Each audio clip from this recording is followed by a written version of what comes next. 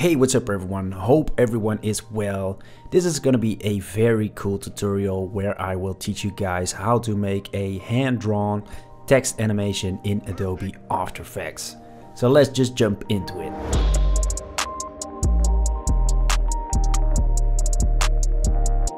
Alright, so I'm in Adobe After Effects and we're gonna start by creating a new composition.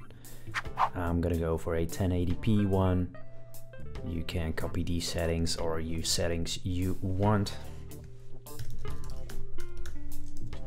And drawn animation. All right and we're gonna start by creating a text layer. So click anywhere on this field. And now type in something you like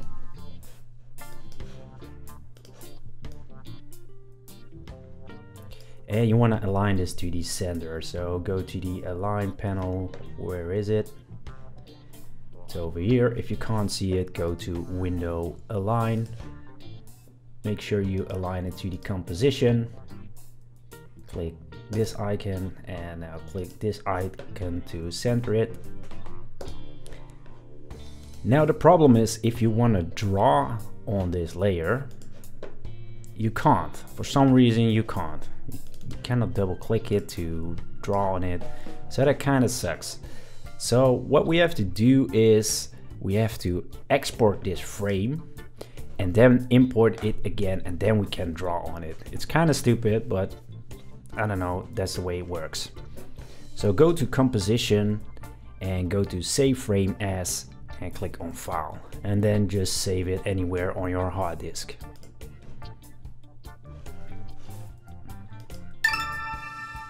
So once you've exported it, locate it on your hard disk and just import it over here. You can right click import file or you can just drag it in here from your finder. Okay, so let's just hide this layer and just import the frame we just exported.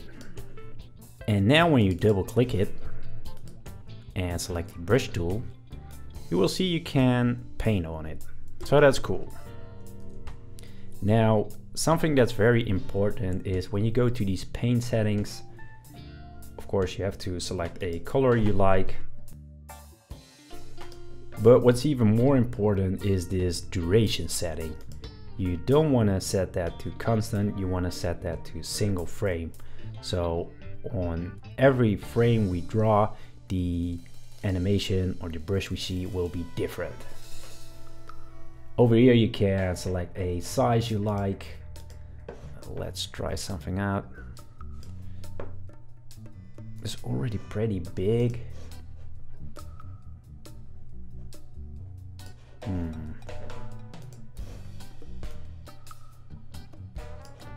I'm just gonna go for 17 right now. Should we change the hardness? Might be better. Maybe set it to 50. I think that looks a little better actually. Let's just leave it at that. Alright, so now what you want to do is go to the start of your timeline and now you can start drawing on the font. So I just make a little stroke like this and now you can hit page down on your keyboard again page down on your keyboard to go to the next frame. And as you can see then the brush is gone because that's we're going to a new frame and we need to draw something new. So it's important to keep in mind what you did the previous frame. So I just leave my cursor at the end then hit page down and then start drawing again. Hit page down again and just repeat this process.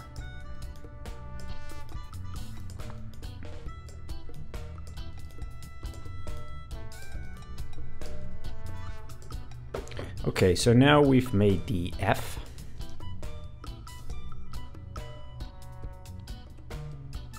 Alright, it looks pretty cool. But maybe we just want to highlight the whole letter. So let's just draw that.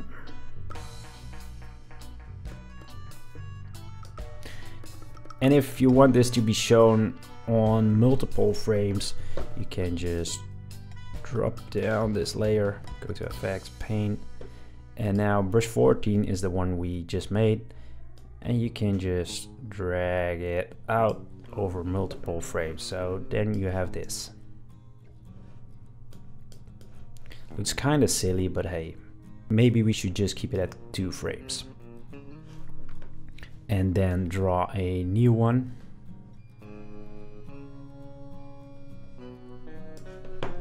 Also extend that.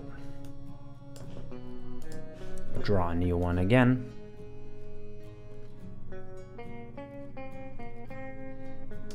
And now let's see what happens. And you just have to continue doing this and as you can see this can take up quite some time especially if you want to do a whole word but um, it's definitely gonna be worth it. Alright so I'm just gonna speed up this process and I'll see you guys in a few seconds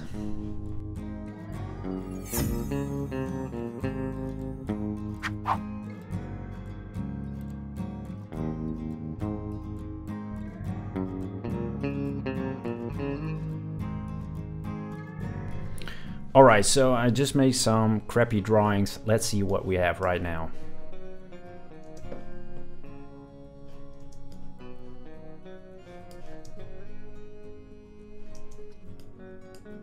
Okay, so I hope you guys understand that this still needs a lot of work.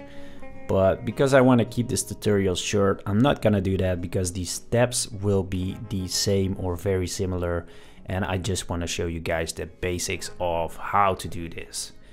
But now there's still something we need to do because right now we've created a painting on a text layer and maybe you don't want to show the text layer. So what you have to do is create a new solid layer. So right click new solid and make sure this has the same size as the text layer so 1920 by 1080 pixels in this case. Hit OK. And now the solid is in your timeline, but it's also over here in this folder. So what you have to do is just delete it from the timeline and now select the PSD file, the text layer, and now select the black solid over here and now hold the option key on your keyboard and while holding the option button drag the solid onto this layer. And it will replace the Photoshop file with the solid. And as you can see now we only have the brush stuff on here which is cool. And now we can also start adding effects to it. So maybe you want to add a nice glow to it. So go to effect stylize glow and just blow up the radius by I don't know 200 maybe. Yep that looks pretty cool. Um, it's a bit too crazy. I think this looks nice.